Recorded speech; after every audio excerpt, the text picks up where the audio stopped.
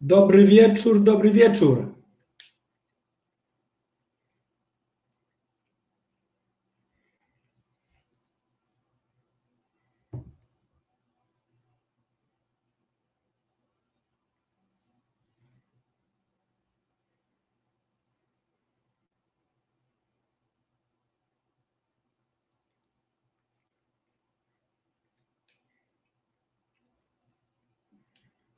Jak się macie po Europejskim Banku Centralnym?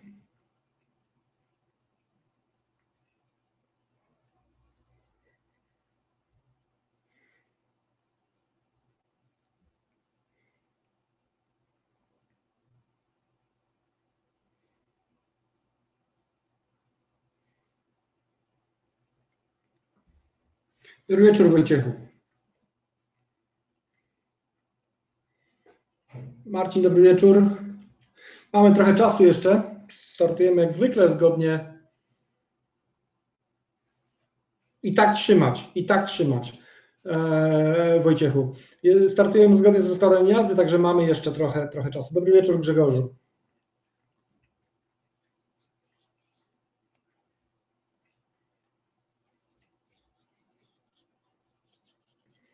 Super Paweł, bardzo fajnie.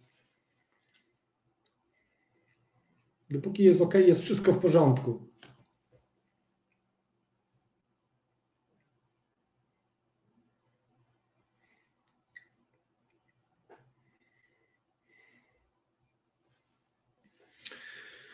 Chciał, nie chciał. 19.30 wybiła 13 grudnia 2018 roku. Piotr z tej strony się kłania.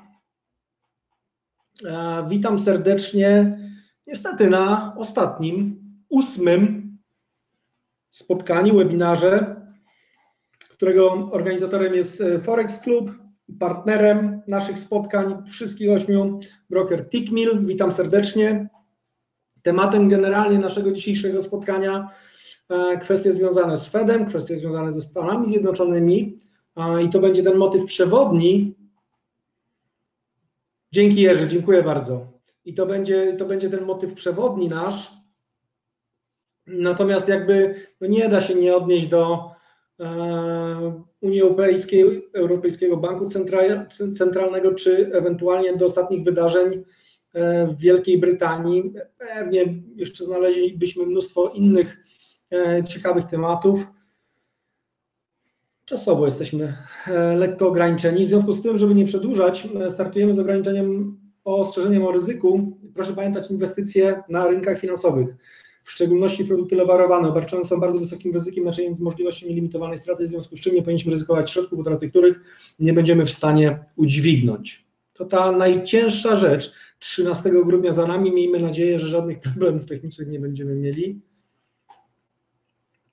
E, dlatego myślę, Wojciechu, że będziemy mieli na tyle czasu, że tak, dlatego ja wspomniałem, że nie sposób nie odnieść się do tych rzeczy, nawet y, próbując spoglądać na rynek, próbując spoglądać na rynek, czy z perspektywy Fedu, czy, e, no to, czy z perspektywy w ogóle Stanów Zjednoczonych, z perspektywy długu, e, to tutaj no jakby odnosimy się teoretycznie do dolara, natomiast może się okazać, jakby nie chciałbym tego przesądzać w 100%, bo to, to, to takie, wiecie, no, próba rozpatrywania czegoś z perspektywy e, szerszego terminu, kiedy tak naprawdę dobrze nie wiemy do końca, jak dany dzień się zakończy e, na, na, e, na rynku, to troszkę, troszkę wróżenie z fusów, biorąc pod uwagę przynajmniej ostatnie wydarzenia, gdzie na przykład na takim metku według mnie jesteśmy z, od kilkunastu dni w takiej szerszej konsolidacji, a jest to wykorzystywane do tego, żeby tak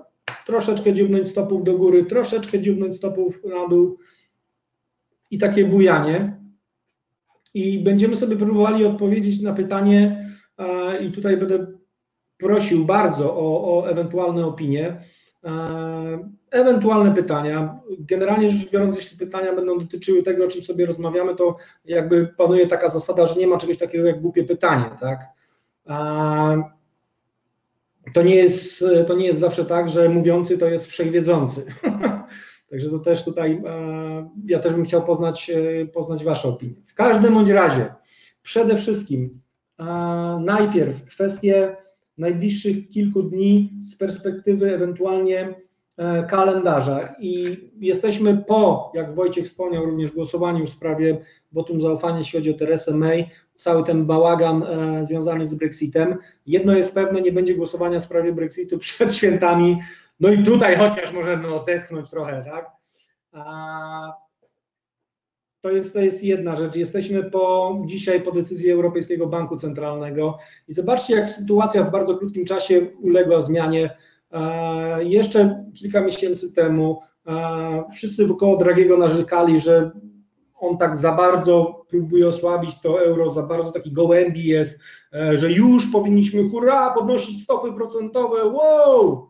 Dzisiaj, dzisiaj się zastanawiali, przed dzisiejszym spotkaniem się zastanawiali, jak bardzo obniżyć prognozy związane z europejskim wzrostem gospodarczym, jak bardzo obniżyć prognozy związane z oczekiwaniami dotyczącymi inflacji, jak bardzo obniżyć oczekiwania generalnie, jeśli chodzi o globalne spowolnienie e, gospodarcze. I wiecie co, powiem tak, można było budować różne spiskowe teorie dziejów i ja również, ja, ja uwielbiam budować spiskowe teorie dziejów, na temat Dragiego.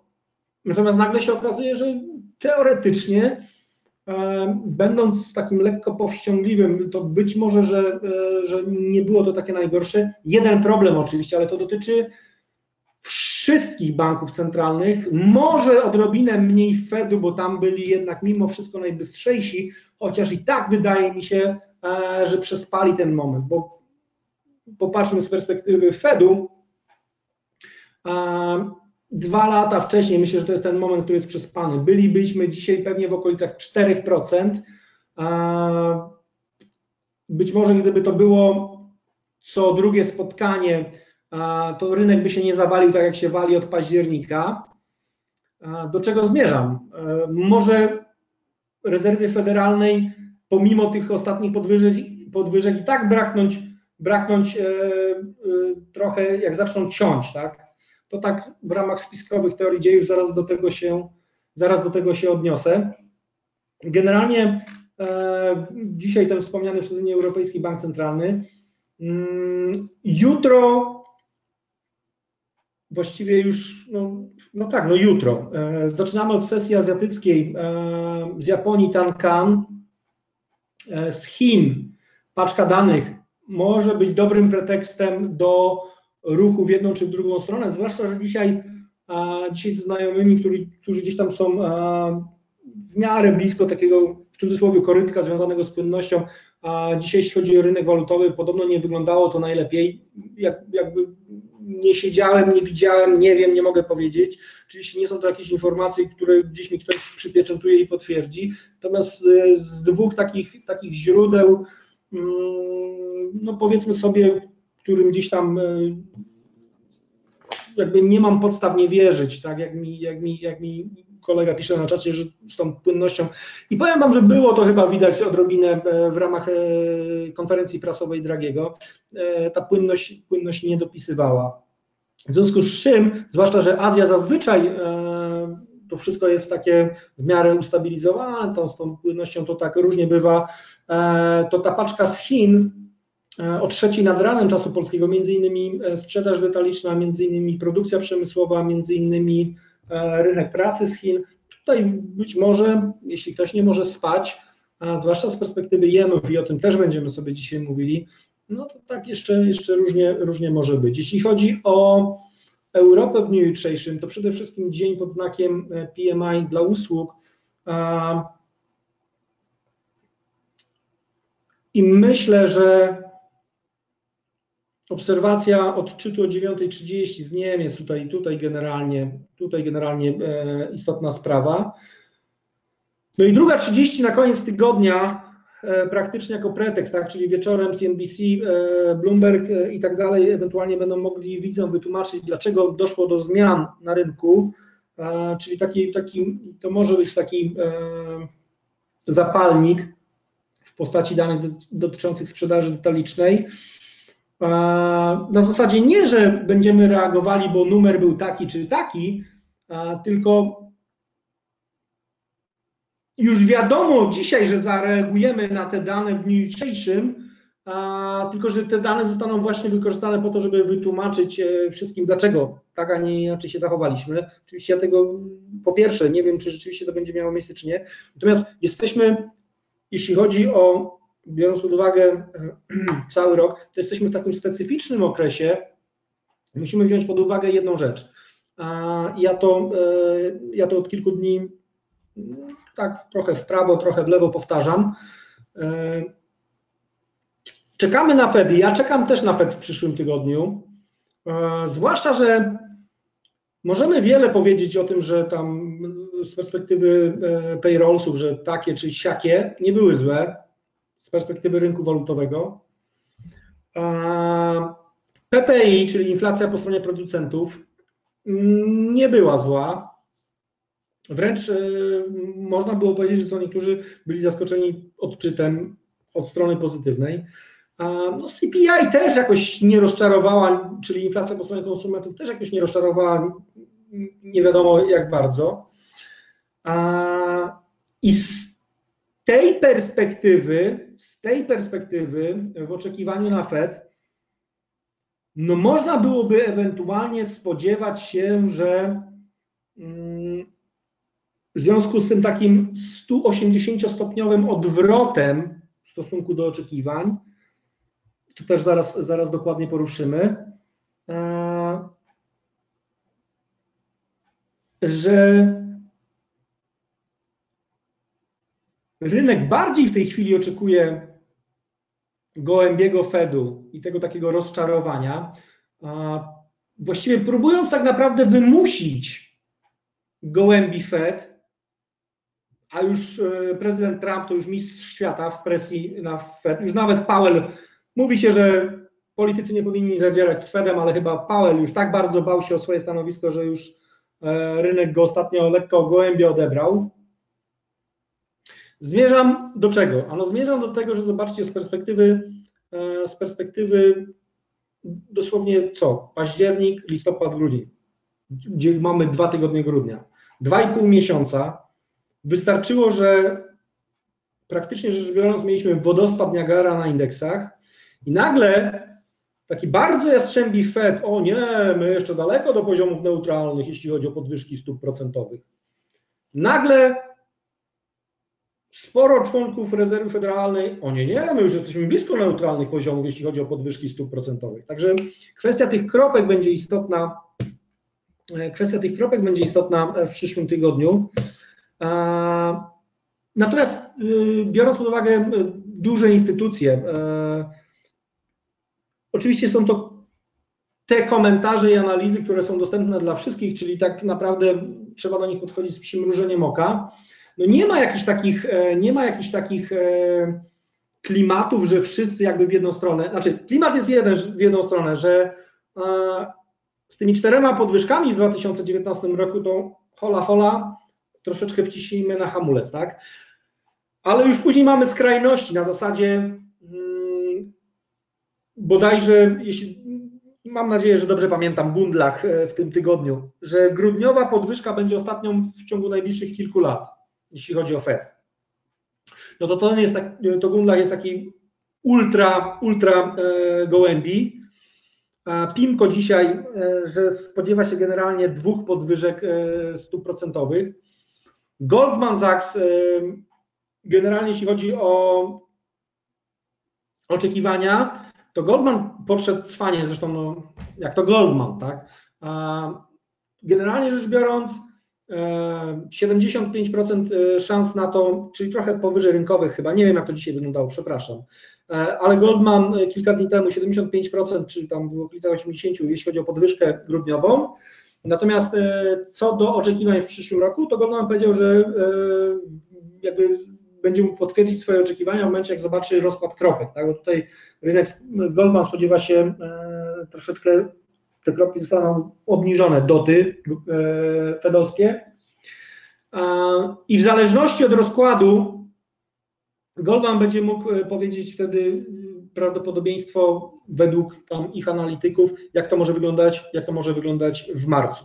Teraz agencja ratingowa Fitch spodziewa się, że e, Fed będzie jeszcze w 2019 roku zachowywał się zgodnie z tym, o czym generalnie do tej pory, do tej pory słyszeliśmy. Zobaczymy. To w środę być może, że e, poznamy, e, poznamy jakieś, jakieś, e, dostaniemy wskazówki co do, co do przyszłości dolara, być może na najbliższe trzy miesiące. I skoro mówimy sobie o tym dolarze, skoro mówimy sobie o Fedzie, to zanim przejdziemy do poszczególnych par walutowych w przypadku dolara, dosłownie na chwilę wrzucę tutaj wykres indeksu dolarowego, bo jesteśmy w bardzo ciekawym miejscu, które niestety jeszcze niczego nie rozstrzyga, tak? I, I, zaraz ja powiem, czego ewentualnie można się spodziewać. Jeden momencik. Ja wrzucę dosłownie na chwilę. Ok. Generalnie rzecz biorąc,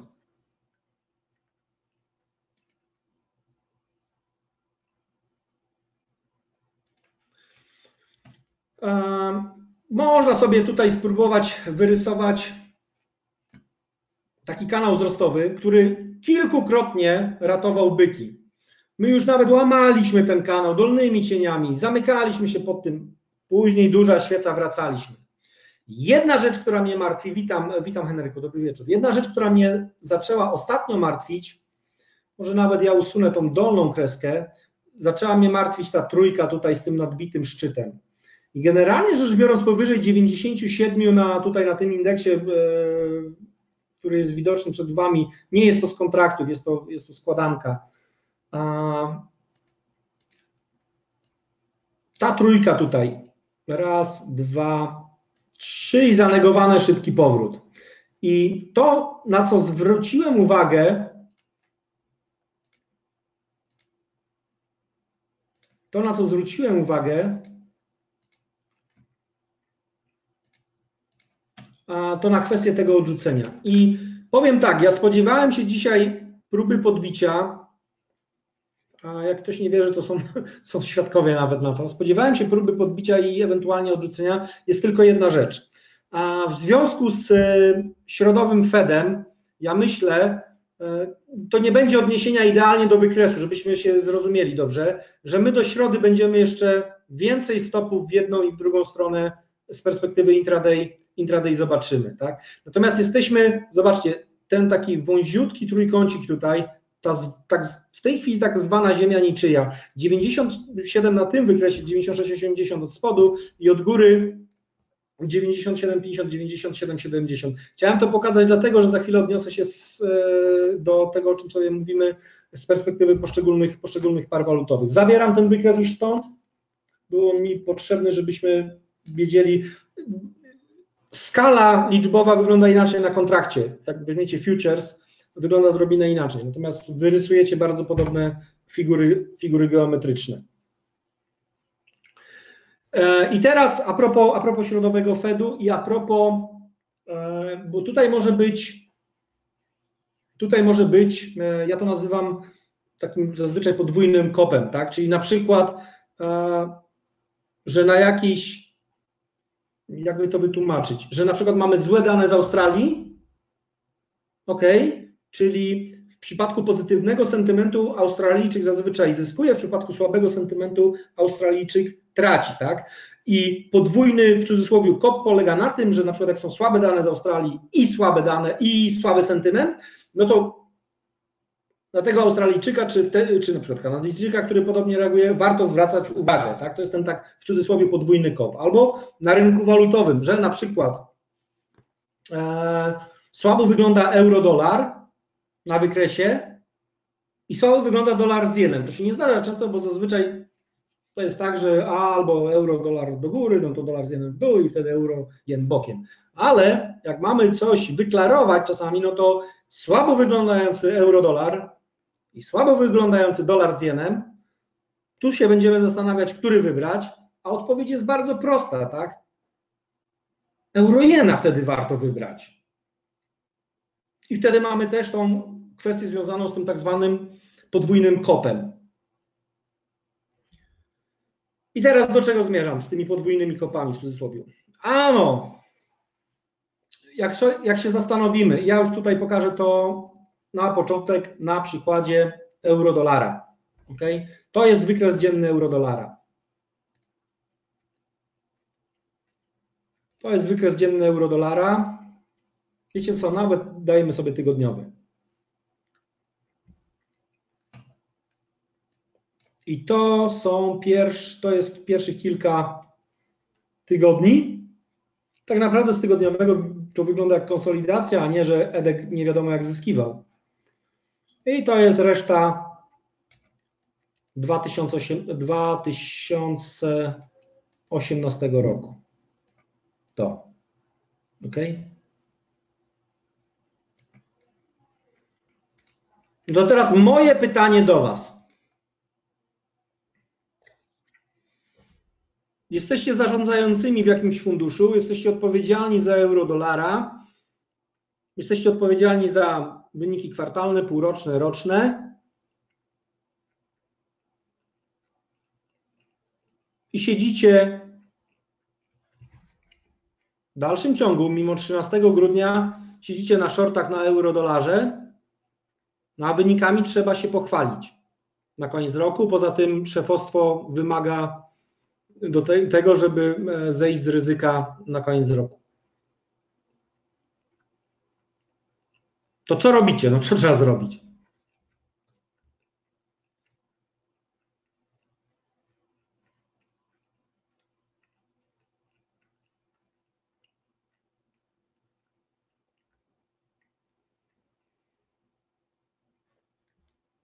Pobudka, pobudka.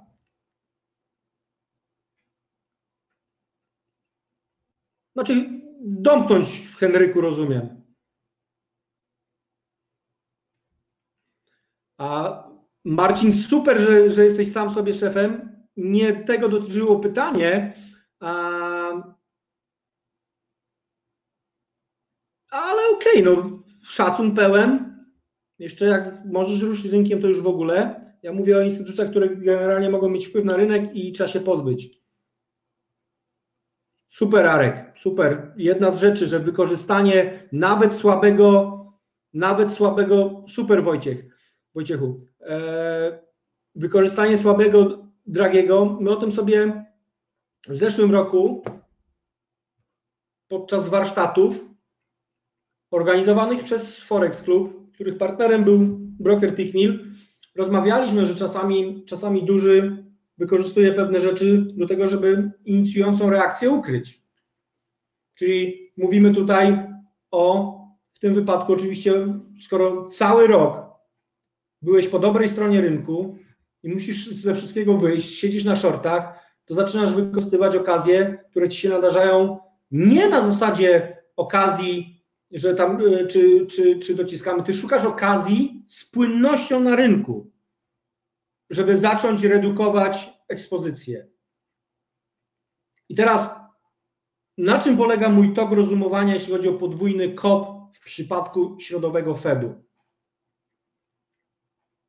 Ja nie mówię, że dolar straci na wartości i w ogóle zmienimy trend. Chciałbym, żebyśmy się tutaj w tym miejscu zrozumieli. Jesteśmy w takim miejscu, jeśli chodzi o czas, gdzie pewne ruchy mogą być wbrew temu, inaczej, wbrew w ogóle zdrowej logice, żebyśmy się dobrze zrozumieli. I teraz podwójny kop na eurodolarze mógłby mieć miejsce w przyszłą środę, czwartek, piątek na zasadzie coraz mniejszej ilości czasu i gołębiego Fedu. Czyli nie byłoby możliwości już ukrycia się. Jastrzębi Fed, duża płynność pod dolara, mogę domknąć, nikt tego nie widzi, nie ruszam rynkiem, tylko kwestia, żeby uważać na 1,15, 15,50 na euro dolarze. Tak? Może być moment, zresztą nie trzeba wcale daleko szukać, wykres tygodniowy chyba z 2000 lepiej, lepiej by pasował chyba dzienny, z 2000 albo 17 albo 16.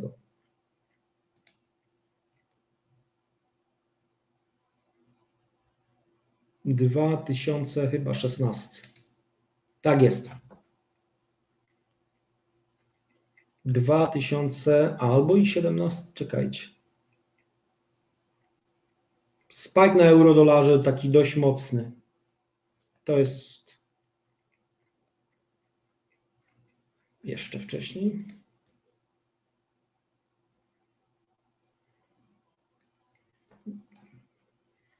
A, to jest tygodniowy, dzienny, potrzebuję dzienny.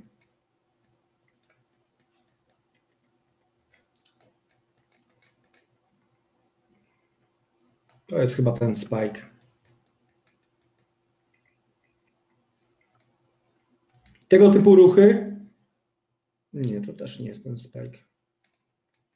Dobra, szkoda czasu na szukanie spajków. Na pewno kojarzycie spike 300 pipsów na euro dolarze, czy, czy chyba trochę lepiej. Albo rok temu w końcówce roku, albo dwa lata temu. Dwa tysiące szesnaście. A jak nie pamiętacie, to zadanie domowe, żeby sprawdzić. Tu jest.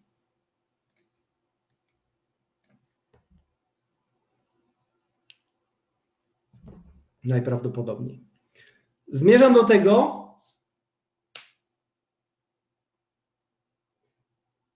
To jest kolejna rzecz, Grzesiek ma rację, to kolejna rzecz, wybory e, w listopadzie e, w 2016 też, też.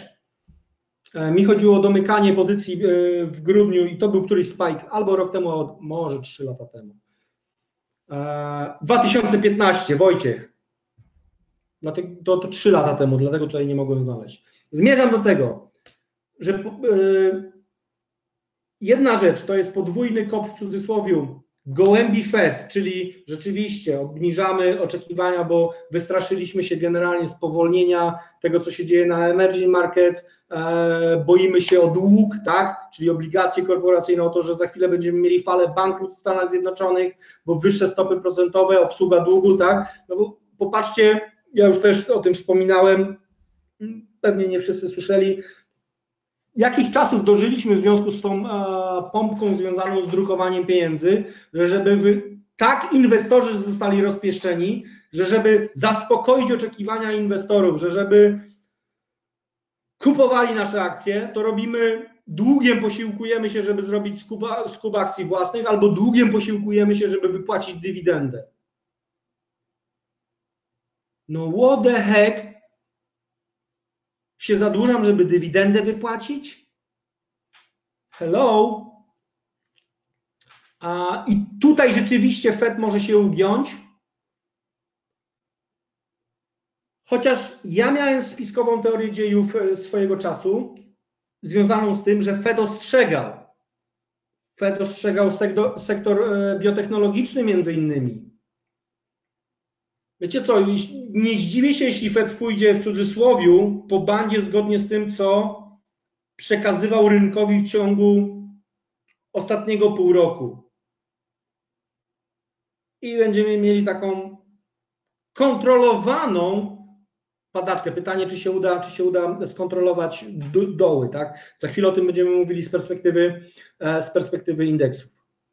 W związku z tym, z jednej strony, teoretycznie uwaga na spike w kombinacji gołębi Fed i realizacja zysków z długich pozycji na dolarze, bo tu będziemy mieli takie spoiwo, tak? Czyli skoro od iluś miesięcy jedziemy w górę na dolarze, to realizując zyski sprzedajemy tego dolara, a jak jeszcze pretekstem będzie Fed i podłączą się shorty pod to, no to będziemy mieli taką małą, małą lawinkę. Arek, dzięki serdeczne. 3 grudnia 2015 to jest to 4,5 figury. A Witoldzie Spike, co to jest? Generalnie rzecz biorąc, a, ilu traderów, tyle definicji. Generalnie rzecz biorąc, sam Spike polega na tym, że mamy e, nieprzeciętnie do jakichś standardów dziennych ruch w jedną stronę, który bardzo szybko jest odrzucany i stąd ten taki jakiś długi, długi generalnie cień, tak? I teraz z takim spajkiem możemy mieć do czynienia, że pomimo Fedu normalnego, ulica będzie się spodziewała, że ten dolar powinien być teoretycznie kupowany, natomiast my będziemy mieli ruch w przeciwnym kierunku. Dlaczego tak może być? Ano może być tak dlatego, że ten, który już dawno siedzi na tych shortach i musi się domknąć przed końcem roku, wykorzysta każdą płynność, każdą nadarzającą się okazję na rynku do tego, żeby skontrować. A Witoldzie, żeby to mniej więcej było dobrze widoczne, to między innymi o tego typu zachowanie. Tak? Bardzo często widoczne na newsach, czyli na przykład mamy, załóżmy, dwóch dni idziemy sobie w dół, na przykład na kablu i generalnie połamaliśmy jakieś kwestie związane z istotnymi wsparciami, czyli na przykład mamy kwestię popytu, idziemy, idziemy, idziemy w dół, łamiemy ten popyt, czyli generalnie powinna nam się tu pojawić podaż, idziemy w dół, jest kwestia publikacji danych i zaczynamy rysować, to jest start godzin, na przykład na godzinowym, zaczynamy rysować korpus pozytywny, pozytywny, pozytywny, który na koniec godziny okazuje się górnym cieniem, bo rynek idzie dalej zgodnie z kierunkiem wybranym po reteście jakiejś podaży. I to na przykład ten cień taki albo, albo taki, żeby jeszcze jakieś stopy złapać. I spike. No, na funcie w ostatnich dniach w jedną, w drugą stronę świadkami byliśmy wielu, wielu tego typu e, zachowań. W związku z czym jest jeden poważny problem dla dolara i według mnie nie do końca nim jest Fed, ale Fed nawet troszeczkę spuszczając tonu e, może jakby wspomóc e, obawy związane z tą jedną rzeczą, która będzie za chwilę według mnie bolała Amerykanów, jeśli Trump czegoś nie zrobi. Czy wiemy, co to jest? Z czym Amerykanie mogą mieć potężny problem? Tak, Witoldzie, tak, jest nagrywany. Z czym Amerykanie mogą mieć problem? Co też Trump uwypuklał atakując Fed.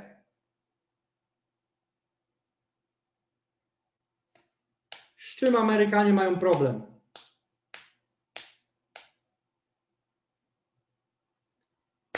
Zwycięzcą naszego dzisiejszego konkursu jest Grzesiek. Dług. Bo te wyższe stopy procentowe nie tylko biją w korporacje. Z Chinami inna, in, inna sprawa też. Wcale nie jest powiedziane, że wojna handlowa działa na korzyść Amerykanów. Drugim wygranym naszego dzisiejszego spotkania jest Marcin. Ale przede wszystkim dług. Przede wszystkim dług. Co zrobił Trump, który tweetuje przez półtora roku, co drugi dzień, że giełdy sztucznie pompowane osiągają nowe szczyty, co się nigdy nie zdarzyło za poprzedniej prezydentury. O tym sobie mówiliśmy, że to było wystawienie się na odstrzał pana prezydenta Trumpa. Co zrobił w sprawie długu? Ja widziałem dwa tweety, że popracujemy nad tym. Czy słyszeliście, bodajże w zeszłym tygodniu, w końcówce zeszłego tygodnia, a, bardzo szybko się to rozpłynęło a, tak po kościach, rozeszło się po kościach. A, kwestia artykułów, które pokazały się w dwóch miejscach i teraz albo rzeczywiście była to kwestia w cudzysłowie fake newsa i, i zostawiamy to, albo PR w Białym Domu jest na tyle mocny, że był w stanie to wyciszyć. Mówię o spotkaniu zaraz po wyborze pana prezydenta, znaczy wtedy jeszcze nie prezydenta, na prezydenta, kiedy tam w takim e, nie najwęższym, ale też nie jakimś szerokim gronie, kiedy jeden z potencjalnych doradców go zapytał, no dobra, to Donald, ale to, ale co z tym długiem zrobimy?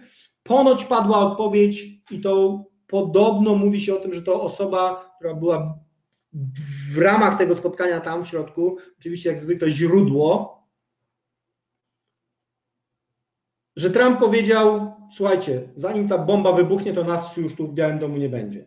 Well, jak sobie teraz popatrzę, ile Trump napisał, ile powiedział, ile było wypowiedzi związanych z redukcją długu, wiecie co? Wcale bym nie powiedział, że to jakiś fake news. A Grzegorz y,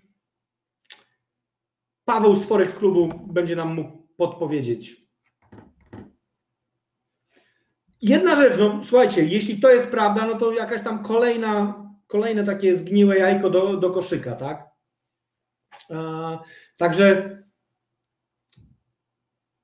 wszystko jest y, dobrze, czy wszystko było dobrze e, z perspektywy powiedzmy e, różnicy w oprocentowaniu. Fed podnosił, dolar zyskiwał, dolar zyskiwał z perspektywy kwestii ulg podatkowych w związku z tym, że dolar wracał do Stanów Zjednoczonych ze względu na te firmy, które robią biznesy e, poza granic, amerykańskie firmy, które robią biznesy poza granicami Stanów Zjednoczonych, ściągały, zresztą widzieliśmy, zwłaszcza fixingi związane z końcówkami miesiąca, boom, dolar zyskiwał, tak?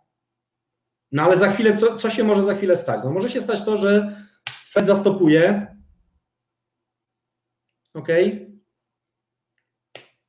wypadnie nam jeden czy drugi trup z szafy w postaci jednego czy drugiego bankructwa. O ile to będą małe firmy, rozejdzie się po kościach, tak? Ale popatrzmy na te większe, popatrzmy na problemy w tym roku General Electric. W każdym bądź razie, do momentu, w którym rynek nie zafiksuje się, niestety my to będziemy wiedzieli nie od razu, tak?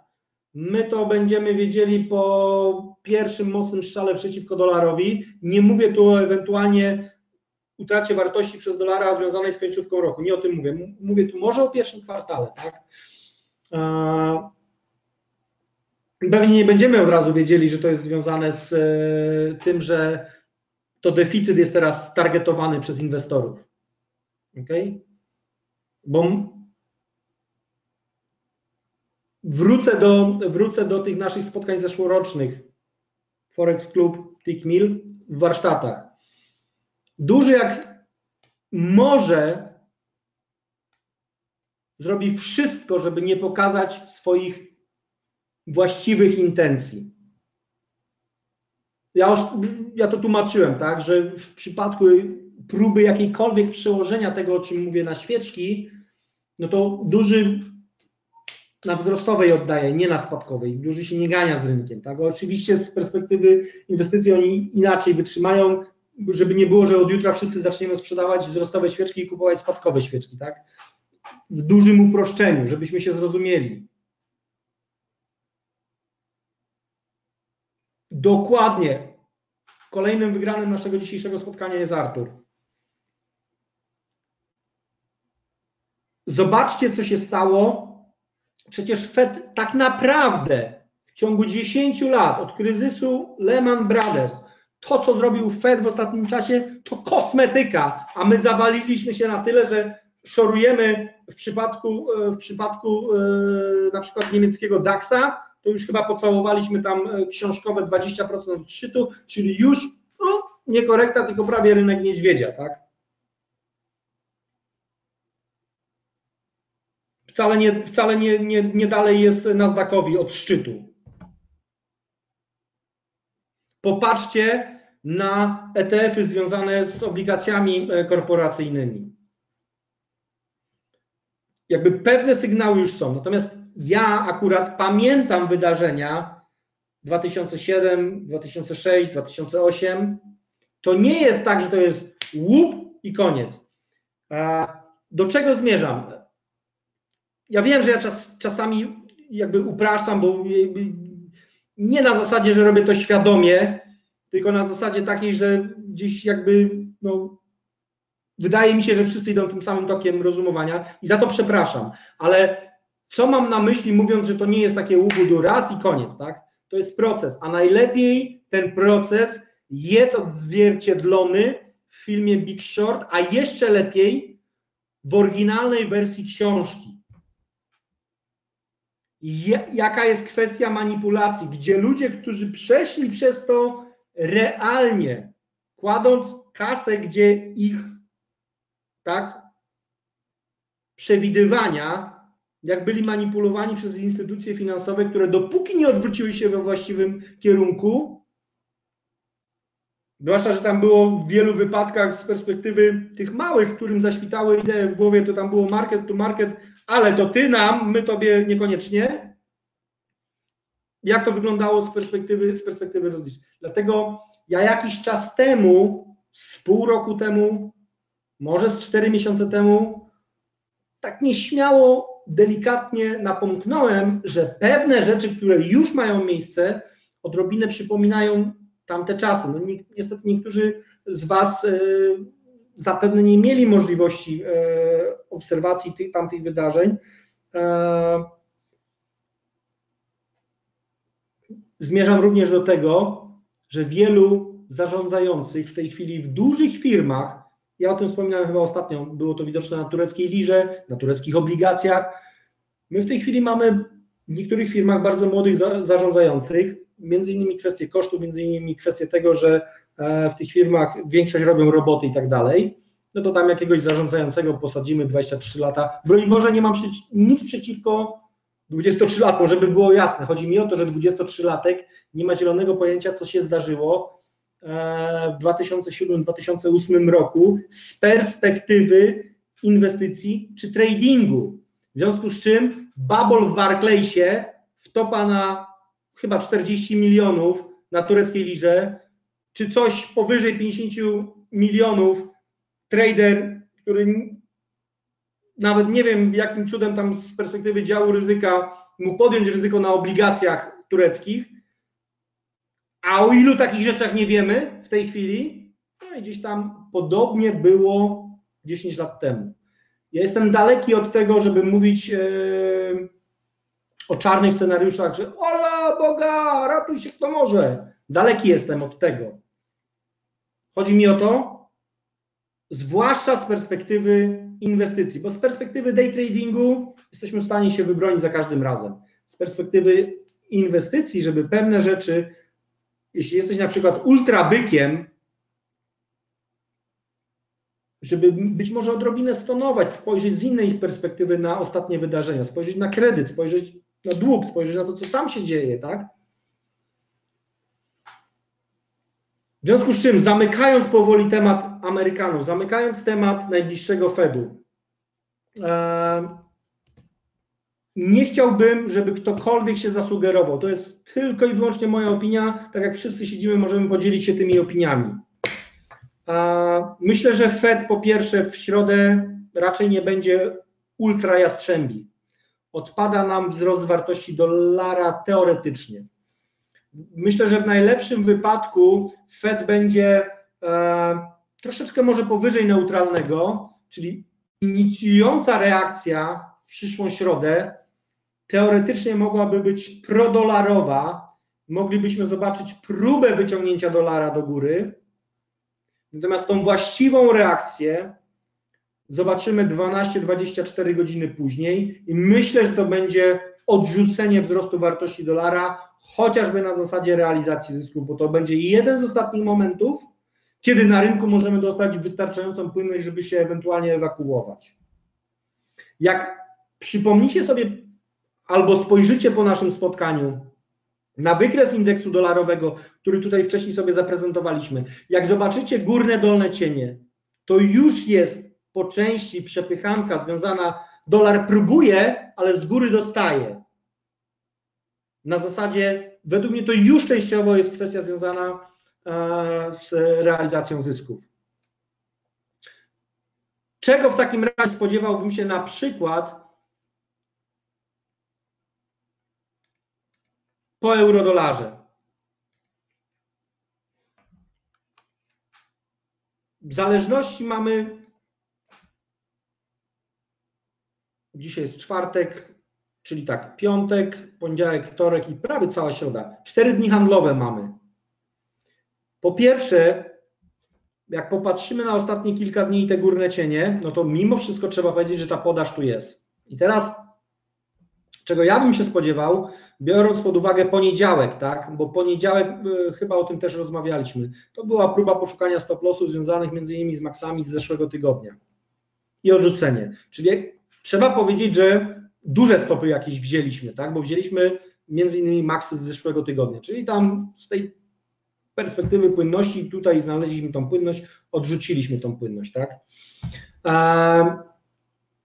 Dragi robił co mógł, żeby spróbować spuścić Jedka niżej trochę jeszcze.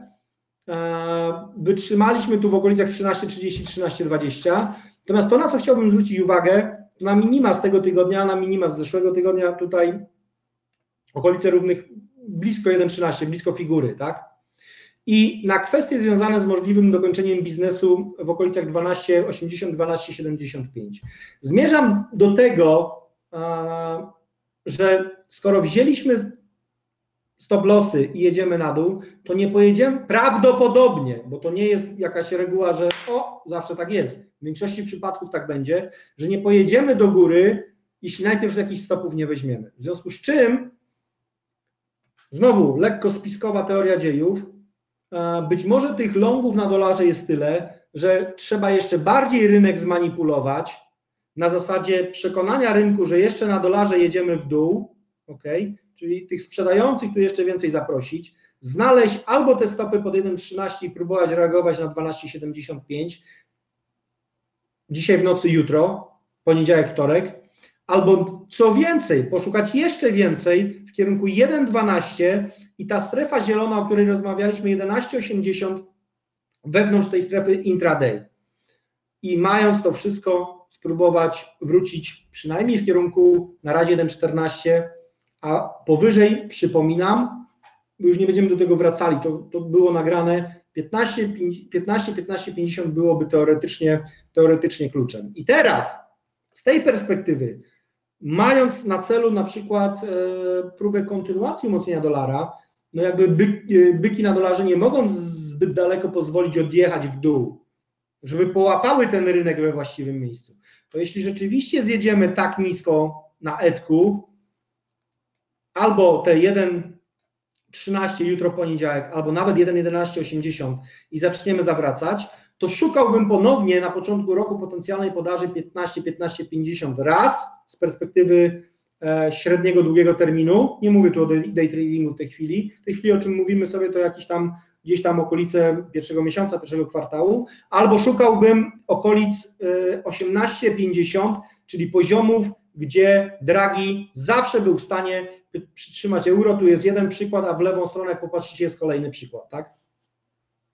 Gdzie są te poziomy dość, dość istotne? Z perspektywy całego 2019 roku okolice 1,2006 mają szansę być istotne, bo to było otwarcie w tym roku. Jeśli w którymś momencie zaczniemy wychodzić powyżej 20, ok, będzie się wiązało z tym, że cały ten dół 2018, tegoroczny zjazd od poziomów, nie mówię od maksów, od poziomów związanych z otwarciem roku w dół zostaje zanegowany i powyżej 1,20, powyżej figury, powyżej psychologicznego poziomu, z perspektywy średniego, długiego terminu, już chyba w tym momencie długiego trzeba powiedzieć, tak by to mogło wyglądać.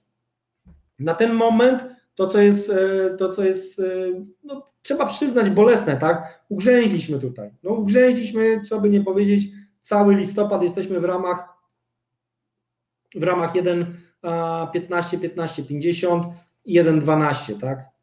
No wstyd, jeśli chodzi o Edka. Trzy figury, wstyd. Natomiast z dłuższego raz, dwa, trzy, cztery, pięć i to mi mówi, i to mi mówi, a, że być może jeszcze trochę niższe poziomy na początku roku. Zaraz ktoś powie, zaraz ktoś powie, halo, halo, Piotrek, ale mówiłeś, że po Fedzie dolar straci. Ale żeby była jasność, wytłumaczyłem. Najpierw okolice 14,70, 15,50, 15, 15,50. Może, może próba powalczenia tutaj z tymi poziomami, natomiast później jeszcze niższe poziomy i prawdopodobnie i później może jakieś kłopoty deficytu i tak dalej i gdzieś tam z 1,10, może z 1,9 E, sporo, naprawdę sporo będzie zależało e, od przyszłej, od przyszłej środy, bo trzeba przyznać, dwa lata temu Fed strzelił sobie w kolano. kompletnie rynek nie rozumiał tego, co Fed chciał powiedzieć.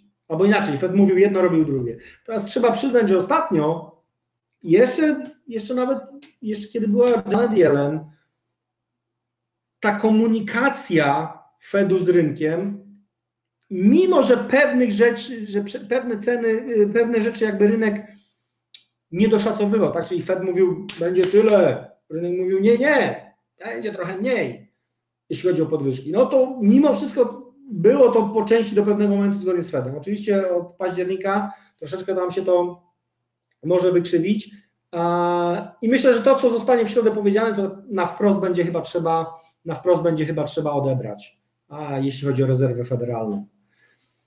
Tyle z perspektywy Fedu, tyle z perspektywy dolara, jeśli chodzi o, o samego dolara, czyli o to, czy wewnątrz dolar sobie poradzi z długiem, jak będzie to wyglądała kwestia Fedu. Natomiast może się okazać, że dolara będzie coś bolało, ale ból dookoła będzie jeszcze większy i de facto będziemy się drapali w głowę, że jak to, taki dług dolar powinien generalnie rzecz biorąc stracić, a dolar zyskuje. Bo problemy wewnątrz Unii Europejskiej albo w Wielkiej Brytanii będą jeszcze większe, że lepiej będzie trzymać dolara z tymi jego problemami, niż trzymać euro z e, Francją, czy funta z rozpadającą się na przykład Wielką Brytanią. Tak? To jest teraz druga część i to jest kwestia próba odniesienia się do, e, do wydarzeń związanych. E, zaczniemy od, od Unii Europejskiej. No, Większego prezentu na Mikołaja, na święta i w ogóle w ostatnim miesiącu Francuzi nie mogli sprawić, sprawić Włochom. Okay? Wiemy, o czym mówimy. O, mówiło się, o, taki problem z deficytem Włosi, ola Boga, dwa, cztery i nie chcą wejść. I nagle facet, który miał przepotężny plan na Unię Europejską, Chciał być powyżej pani Merkel. Wiemy o kim mówimy. Chciał rozwiązać wszystkie problemy Unii Europejskiej. Robi odwrót o 180 stopni. I wszystkim po 100 euro. Od stycznia. Dokładkę robimy. Mówimy o Macronie. Mówimy o żółtych kamizelkach. Mówimy o cyfrach, które na szybko przebijają deficyt włoski. O, mówi się, że we Włoszech to już strukturalnie, to długo. O, Francuzi mogą sobie raz na rok pozwolić na 3,5%. Ok? Tylko słuchajcie, to już ludzie nie wyszli na ulicę, nie wiem, w Portugalii. Mały kraj to już nie jest grabież z rachunków bankowych na Cyprze. Mały kraj. Francuzi wychodzą na ulicę. Znowu, nie jest tak, że będziemy mieli zaraz żółtą rewolucję w Europie, że, że to się bardzo szybko rozleje i tak dalej. Natomiast z perspektywy, bo znowu, nie mówimy o day tradingu, bo tutaj w każdej chwili jesteśmy w stanie się obronić. Mówimy o kwestiach związanych z jakimiś e, inwestycjami z średnim i długim terminem. Coś jest na rzeczy. Bardzo szybko Francuzi chcieli szukać e, powiązań z Rosją, że to Rosjanie jak zwykle umoczyli e, trzy grosze w wydarzeniach we Francji. Natomiast ja w kilku takich niszowych blogach wideo spotkałem się z informacją, że tam Macron bardzo podpadł podczas ostatniej rozmowy z Trumpem Trumpowi. Może to Amerykanie maczają palce. A może po prostu mówi się o wzrostach płac. Popatrzcie na ostatnie dane z Wielkiej Brytanii. Niesamowite wzrosty płac. No przecież kurde, zarabiamy tyle, że masakra. To dlaczego ludzie wychodzą na ulicę, bo mówią, że nie mają pieniędzy? Bardzo dobry, e, bardzo fajną rozmowę miałem z kolegą po publikacji danych z Wielkiej Brytanii, który powiedział mi, Piotrek, e, od tej cyfry, te 3-3, które tam dostaliśmy, zdejmij wszystkie, wszystkie, wszystkie rzeczy, które są związane z bossami w firmach, to John prawdopodobnie mu się obniżyła płaca średnia. No i takie są realia. Oczywiście na razie nikt na to nie patrzy, dopóki nie wychodzimy gremialnie na ulicę i tak dalej, bo z perspektywy rynku, rynku to nie interesuje, dopóki rzeczywiście nie, nie spłonie jeden czy drugi samochód i jakieś napięcia będziemy mieli i na przykład Macron zrobi deficyt 5%, no to wtedy rynek się zastanowi i powie, a, a we Francji nie chcemy, nie chcemy trzymać pieniędzy. Ale dopóki jest cisza, spokój, możemy narzekać, o tutaj masz stówkę podwyżki, tylko nie, nie wychodź na ulicę, będzie wszystko, tu rozejdzie się po kościach, wtedy rynek na to nie zwraca uwagi.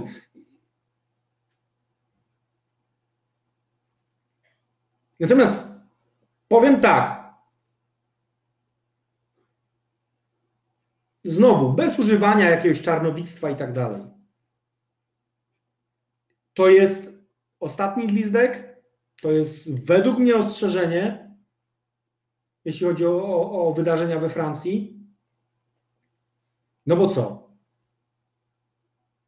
Trzeba się posiłkować długiem. Trzeba drukować. Kurde, muszę zadzwonić do Kurody. Pożyczyłby mi taką jedną drukarkę. A propos Kurody, to musimy dwa słowa o Europejskim Banku Centralnym, bo dzisiaj oczywiście padło, że Draghi wyłączył drukarki, także zostaje tylko Mister Kuroda.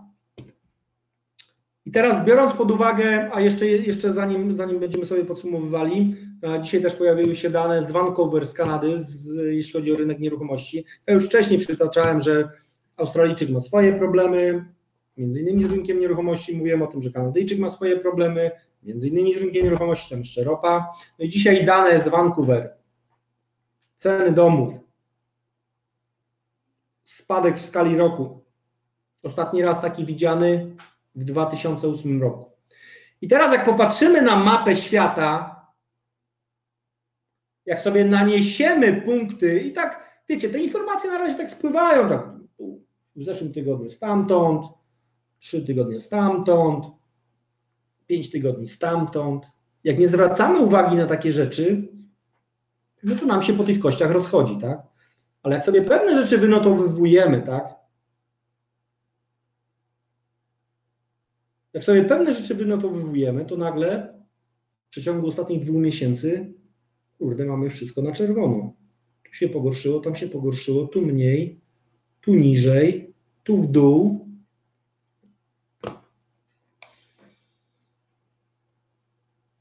Znowu, bez czarnowictwa należy uważać. Na co należy uważać? Popatrzmy sobie na indeksy.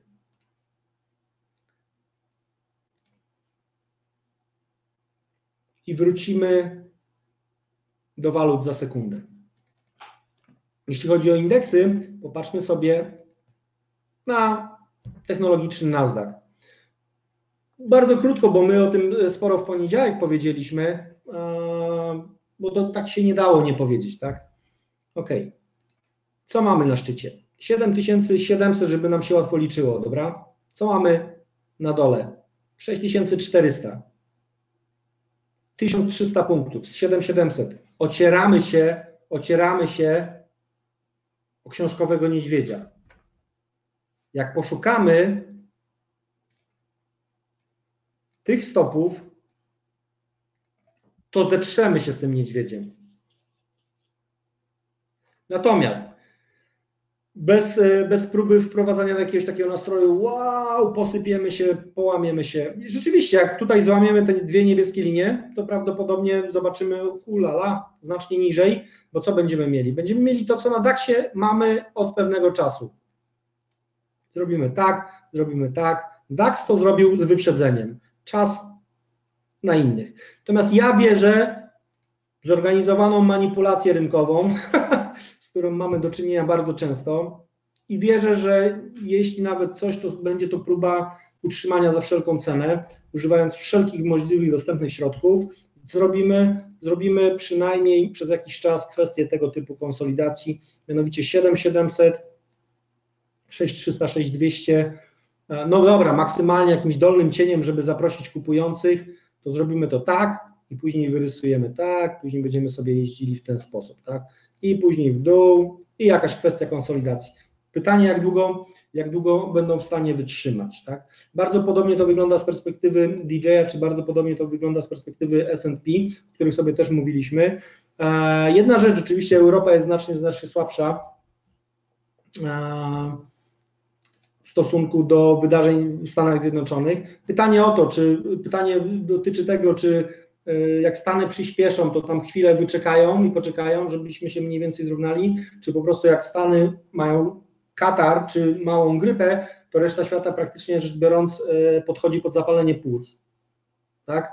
Także z tej perspektywy, o tym mówiłem chyba w zeszłym tygodniu, e, na bazie tego wykresu chociażby Nasdaqa, że prawdopodobnie pan Trump długo nie napisze o tym, że giełda dzięki niemu, dzięki prezydentowi Stanów Zjednoczonych jest na nowych maksach. Tak? On się odkrył, pod tym względem, o tym mówiłem, udało mu się z na razie. Należałoby się zastanowić, na ile to jest działanie Arabii Saudyjskiej, a na ile ropa nam pokazuje, że spowalniamy, że spowalniamy, naprawdę spowalniamy. No i wracamy do rynku, zataczamy koło, wracamy do rynku walutowego. O czym sobie powiedzieliśmy? Powiedzieliśmy sobie o tym, że dolar może mieć problem w kwestii, jeśli rynek się zorientuje, że o, o, mogą nie obsłużyć długu, ja zacznę sprzedawać ten ich dług. To, to mówimy o dolarze. Euro, Francja, Włochy, ukłon w stronę Teresy May związany z Brexitem. Też kiepsko. No to jedziemy dalej. Funt. No nigdy nie kończąca się historia. I teraz powiedziałem, że odniosę się do tego, co się wydarzyło w Wielkiej Brytanii w sprawie głosowania. Według mnie z perspektywy funta, którego teraz sobie poruszymy, jesteśmy na granicy. Jeśli chodzi o głosowanie o te wydarzenia w Wielkiej Brytanii, według mnie nic nie, gdyby to miało miejsce we wrześniu, pewnie byśmy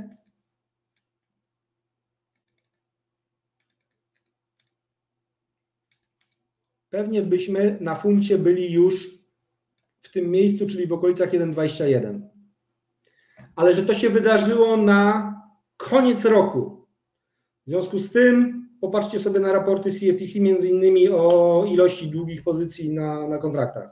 W związku z tym, że mamy tą drugą stronę rynku, jest kupa chętnych do sprzedaży funta, a ja muszę klientom pokazać zysk. A jestem na funcie od tego poziomu. To to wykorzystuję. Natomiast jedna istotna rzecz. Jesteśmy w bardzo istotnym, na bardzo istotnym poziomie na funcie. A z perspektywy średniego terminu nie wiem, ale wiem, co będę robił jutro. Wiem, co będę robił w poniedziałek, w zależności od wydarzeń tutaj, a mianowicie jutro, jeśli domkniemy tak, jak jesteśmy dzisiaj, jeśli tak to domkniemy, to jutro będę obserwował maksy z dnia wczorajszego i stopy powyżej maksu dnia dzisiejszego, bo albo rysujemy górny swing, albo stopy z dzisiaj jeszcze weźmiemy, przetestujemy otwarcie tygodnia, będziemy odrzucali, tak? Dopóki jesteśmy tutaj, to z perspektywy intraday bardziej mi pasuje dół. Tak jak mówię, gdyby to był wrzesień, bylibyśmy już pewnie na 21 po wczorajszym dniu. Trochę naciągane, nie? Może 23 bylibyśmy. Ale że jesteśmy w innym okresie, musimy o tym pamiętać. Nic się nie zmieniło na funcie, a powiedziałbym, że się pogorszyło. Bo znaczenie pani Teresy May zmalało potężnie. Ona wygrała głosowanie handlując. Zagłosujcie. Nie będę się wtrącała, jeśli chodzi o następne wybory. Fatalnie. tylko i wyłącznie kwestia według mnie końcówki roku. powoduje, że jesteśmy tu, ale daje szansę z perspektywy intraday. Jeśli rynek powie, nie, Piotrek, bzdury gadasz, i tydzień, czyli jutro, zamkniemy powyżej otwarcia i maksów,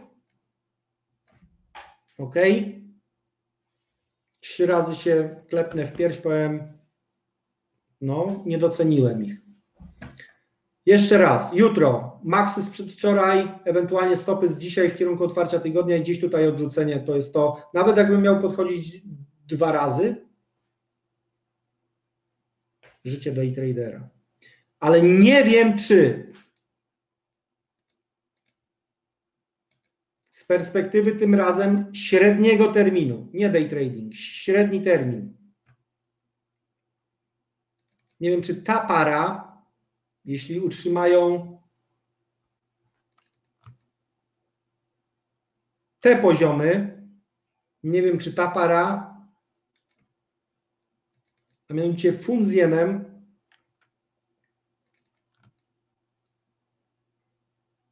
nie będzie lepszy kierunku 136-135. Ja już z jenem się zmagam intraday. Tu mnie dziubną stopem, tu odrobię, tu mnie dziubną stopem, tu odrobię. Natomiast jako zadanie domowe zobaczcie sobie końcówkę roku, styczeń, dolar jen, euro jen. Popatrzcie. Nie wiem, czy nie będzie podobnie. Nie wiem, czy nie będzie podobnie. Próbując podsumować, To, o czym powiedzieliśmy. Dolar, może ktoś się zorientuje, że dług. Euro problemy, funt problemy, Australia problemy, Kanada problemy. Mówimy o, tutaj o tych głównych. Co może, jaka waluta może być cichym bohaterem? A, pomijam franka szwajcarskiego, tam będą interweniować ile wejdzie. Co nam zostaje?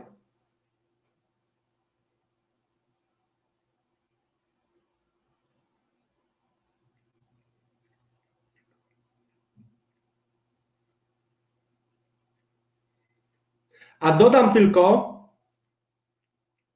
że zagraniczni inwestorzy w minionym tygodniu zwiększyli zaangażowanie w obligacje tego kraju o 100%. Czyli kupowali tą walutę, mimo że tego nie było widać na wykresie, żeby kupić obligacje wyrażone w tej walucie. Stop niecałe 100% chyba, z 700 milionów do miliarda 400, coś tam prawie. Do sprawdzenia. Mówimy o Last Man Standing, ostatnim drukarzu, Kuroda. Mówimy o japońskim jenie. Ktoś powie, Piotrek, ale tam przecież jeszcze większe długi mają. Tylko, że oni sobie wewnętrznie poradzą, a Stany wewnętrznie, pomimo zapewnień Fedu, sobie nie obsłużą tego. starzejący się naród e, z perspektywy długoterminowej może coś być na rzeczy, natomiast jak jest źle, jen wraca do domu. Czy będzie źle w 2019 roku? Nie wiem. Nie nastawiam się jakoś specjalnie na nie wiadomo jakie, e, jak wielkie e, spadki, natomiast jeśli założymy na Nasdaqu rzeczywiście kwestię konsolidacji, czy na S&P, czy na DJ-u, to próby podjazdu tamte rejony prawdopodobnie teoretycznie będą związane z e, próbą odrzucenia.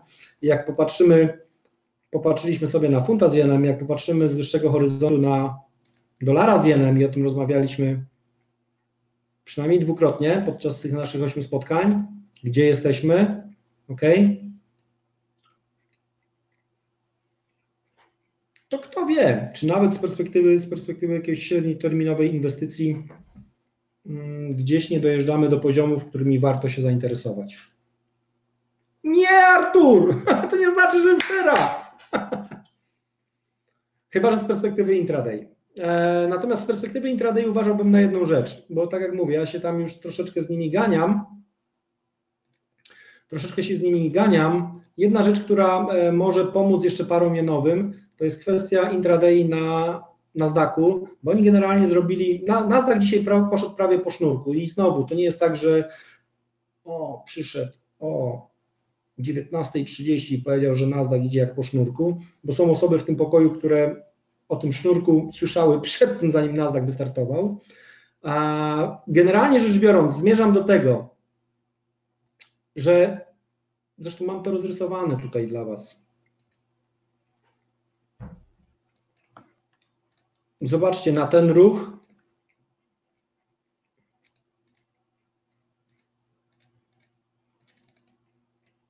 Ten ruch.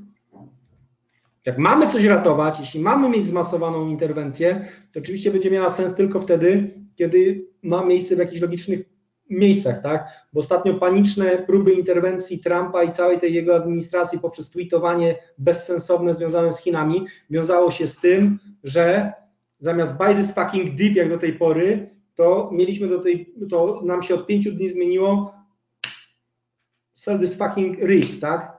Czyli pompka na zasadzie fake newsa, przychodzi kasowy, odrzuca.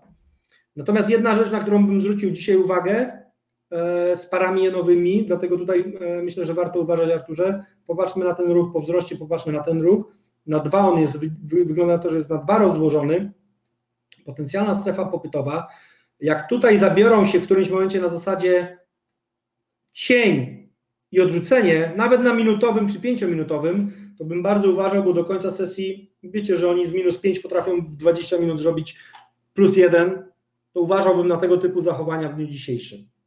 ok? Natomiast, tak jak mówię, powiedziałem to chyba na pierwszym spotkaniu, wajcha się odrobinę zmieniła. Kiedyś wystarczyło mieć spadki, zrobić fake newsa i kupowaliśmy te dołki, a teraz się zrobiło tak, że jak jest fake news, jest podbicie i górki są sprzedawane. Odrobinę uległo to zmianie. Na to, na to z perspektywy dzisiejszych wydarzeń uważajcie, bo jest w miarę logiczne miejsce na to, żeby próbować to zawinąć do góry ewentualnie. Trochę więcej stopów poszukać na jutro. Z perspektywy przynajmniej, przynajmniej na zdaka. Także tutaj uwaga.